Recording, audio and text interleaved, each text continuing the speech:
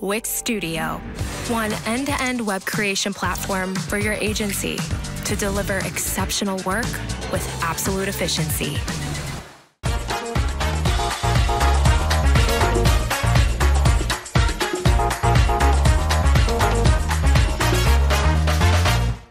the number one long form writer that helps SEOs outrank competition at the click of a button using real time research and NLP.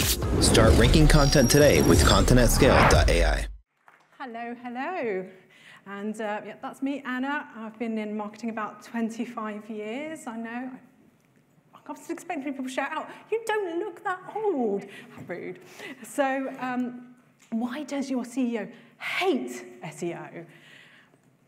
a fart in your general direction. Your mother was a hamster and your father smelled of elderberries.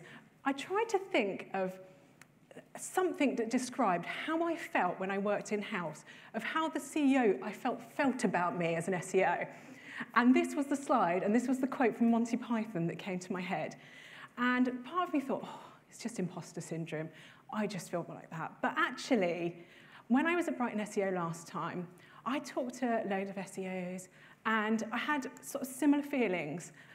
My boss thinks he knows SEO better than I do. And my CEO changes all my SEO plans.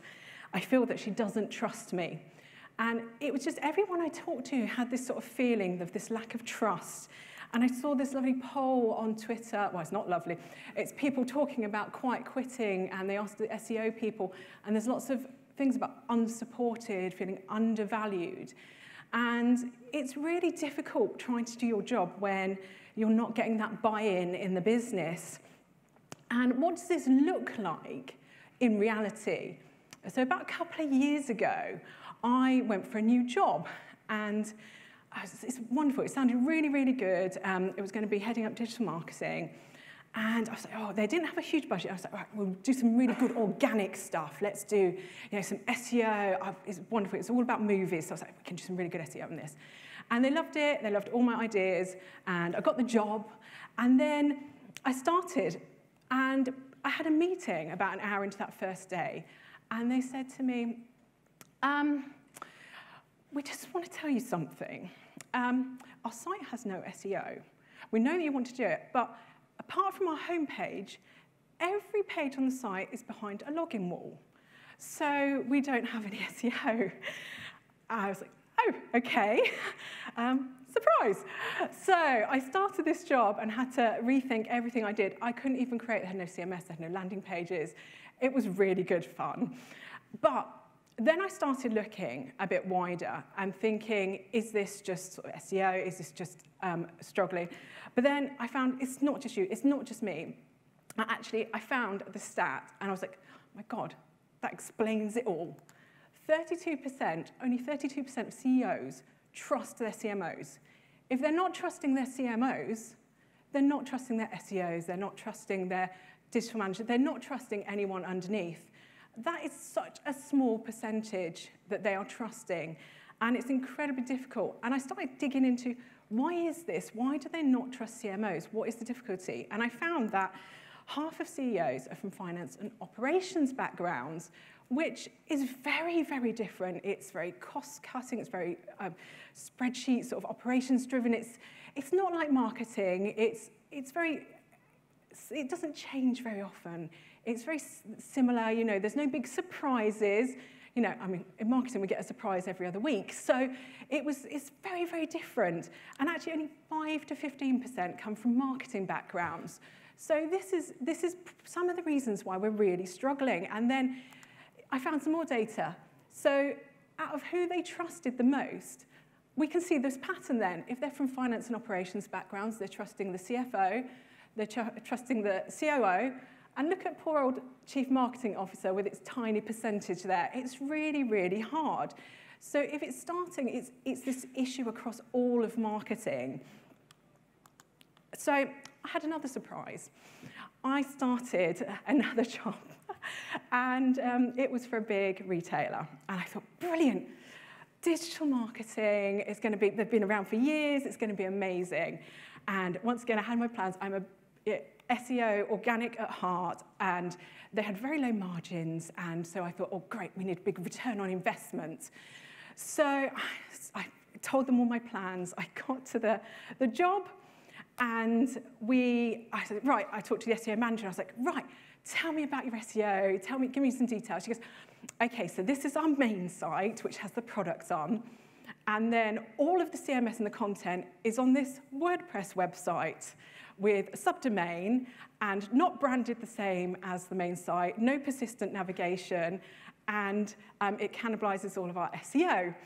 And uh, so I said to, I, I, in turn, I said, look, we really need this. We're a big retailer. We really need to have a, a CMS, but they're in a big rebuild. So I was like, and you know what happens? SEO has been deprioritized across the board. And he goes, the IT goes, it's okay. I'll do something for you. So about, it was about two months later, he came back. Surprise! So we're like, yes, we've got a CMS. And what happened was not a CMS, it was a page with a frame in it, not even a WYSIWYG editor. It had HTML code in, and what we had to do is copy and paste it to Notepad, and then copy and write our text, and then copy it back into this frame. And then we could set the, the URL, and we could put a few meta tags, and then we would publish it. And so for a couple of years, this is what we used for CMS. And it felt like using this. It really did. Because once again, and this is what happens, if they don't trust marketing and then they don't trust SEO, you get deprioritized and it's really, really, really hard to get your job done and to add value to the company. So I've got some sort of tips on how to build that communication between two of them. So my first thing is, um, I am a strategist at heart, and so I like to get things written down. So some more shocking graphics. Only 36% of marketers don't, um, sorry, 36% of marketers don't document their marketing strategy at all, and 47% only document a portion of it. I haven't done the maths, but it doesn't leave many that actually document all of it. So, but the thing is, when you do document it, it's successful. You tend to be more successful. And the reason is because strategy is important.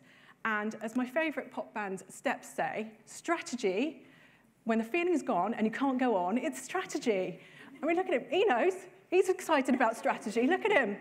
So it's really important to get that strategy written down. Mine tend to look like this. This is uh, Kevin from Home Alone and his battle plan. It doesn't matter exactly what format that you have to write it down. You just need to make sure that you're including your research, your hypothesis. A strategy, people think it's a one-time document, but what it is is a living, breathing document, and it generally is a hypothesis. In a strategy, you don't have to have all the answers.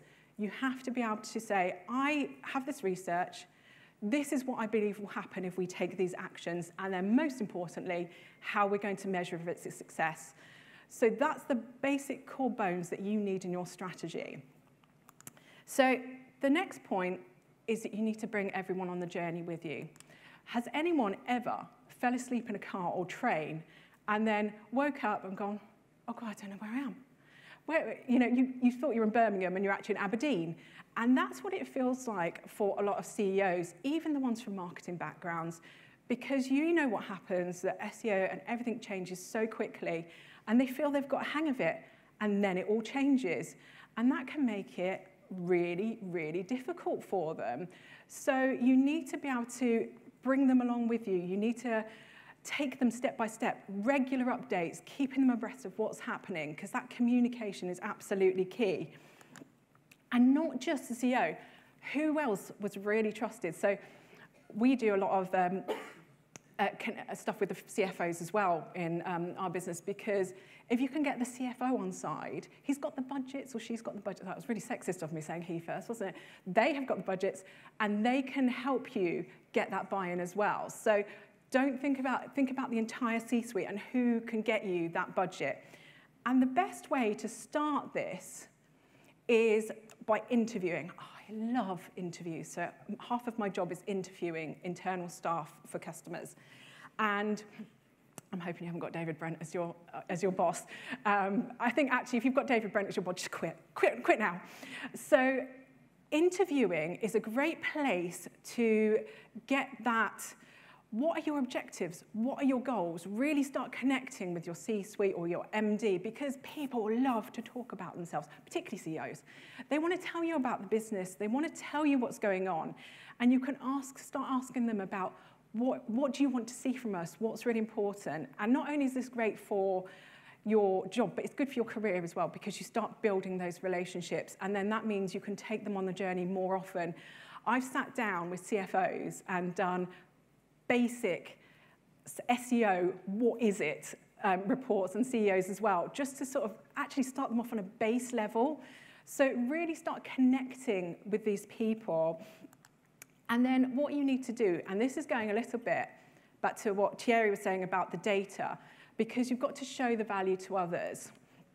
So when we look at what the CEO thinks marketing to do, it's about growing the business.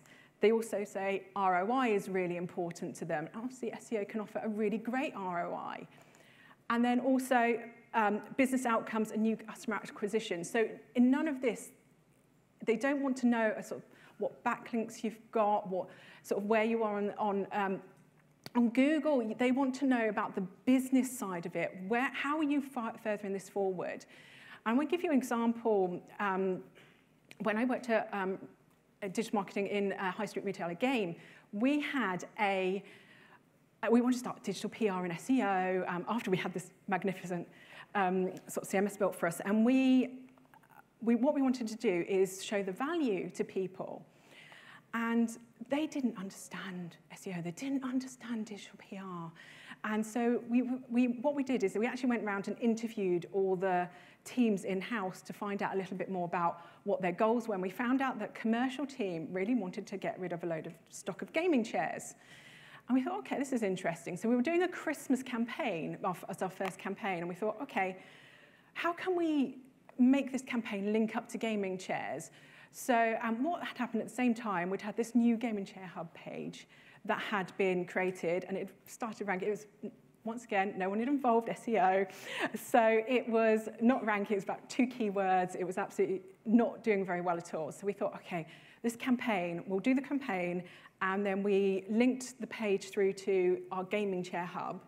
And then what we did is then tracked who was going through to the Game Chair Hub. It was near Christmas, and gaming chairs sell really well at Christmas. We tracked conversions. So we could say, actually, we got loads of coverage. It was on the Colbert Show. It was lovely. We got all these backlinks. But commercially, we know that this campaign fed through to here, and this, we, you know, we could see this rise in conversions, which they could understand. It was on a spreadsheet.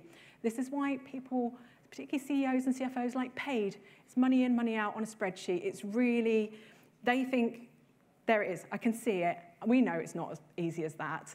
Um, you know, that's, this is why they like the sort of last click attribution because once again, oh, last click, oh, paid. Paid's got the glory again because that's what happens every single time. Paid always gets the glory because they don't understand all the different stages. So this is part of your education process of educating C-suite. Where is SEO in this pipeline? How is it contributing it? How are we measuring it? And how can we convert those measurements to how you like? So translate it into their language that they think that you know, most um, marketers speak our own language, and this is the problem. If we are telling them about how something is performing, we have to think in COO language. So if we're doing a report, we want to be reporting on things such as how is this SEO helping us hit our target? So the business target, how are we moving the company forward? Is SEO performing better or worse than we'd expected and why? You know, these are the things they want to know, the high level stuff. What does SEO need to reach its target? And what do we do next and why? And it's really important to keep this really high level stuff when you're talking CEOs and CEOs and because they want to understand it in their language. And in an ideal world, we would meet halfway and they would sort of you know, meet us halfway. But if anyone's heard the term managing upwards, you know, that happens quite a lot and you have to manage upwards and, and manage your CEOs.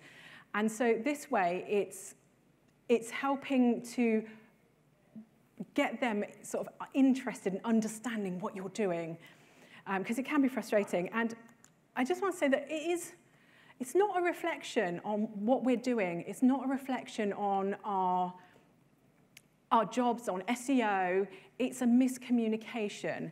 But there is a knock-on effect where it makes you feel a bit pants, you know? When people are not trusting you and you're not getting buy-in, it can make you feel a bit down. So what I've done is um, just for a little bit of a pep, I've done some little pack of positive SEO affirmations for you to make you feel like next time you're taking on your CEO, you can be a little bit happier. So um, my SEO strategies are powerful and effective and bring results. With each algorithm update, I become more adaptable and resilient. I am confident in my decisions and trust my SEO instincts. And sod lemonade. When life gives me 404s, I have 301 redirects. So I've actually got some packs of positive SEO affirmations. If anyone wants one to cheer themselves up, you can have it on your desk for next time the CEO angers you, or a client if you're agency side. So what this is all about is when a CEO is saying, show me the money, you need to show them the money. You need to try and work out how can you connect your, your stats and your details to what they want to see. You know, Thierry's saying about connecting with different teams and pooling your data together, making sure that you're giving that picture of how is SEO and how is marketing growing the business? How am I reaching your objectives? And the thing with this is it's going to make your life easier. You're going to get buy-in better. You're going to get more budget. You're going to just have that better career prog progression because you're getting them on the side. And it isn't difficult. I'm not going to say it's easy. It is difficult because this takes a lot of work. You have to keep your strategies up to date. You do have to keep communicating. Force your way into their offices. Put your foot in the door. Make sure that they're listening to you and see if you can get some people on side because it's really important. And it's not just for heads of SEO. My SEO managers, my SEO apprentices, they always, I'd shove them in the room with the chief digital officer and try and get that recognition of what they're doing and what they're up to. And I haven't got any more surprises, but I hadn't done anything for dog lovers, so I thought I'd include this instead. And um, so I, this is the end of my talk. I have um, a couple of copies of a book I wrote um, with 35 other authors and Mark Schaefer, if anyone wants a copy. Just might feel inspire you. I've got some packs of SEO positive affirmations, like I said. And I just wanted to come out of this with thinking that it is possible to change it and change the dynamic, but it has to come from you. It has to, you have to help push it forward and um, you know, you are awesome. I did want to put a slide of the Everything is Awesome from Lego in here, but I couldn't find one big enough. Um, but, uh, so thank you very much, and I hope you feel positive about your way forward.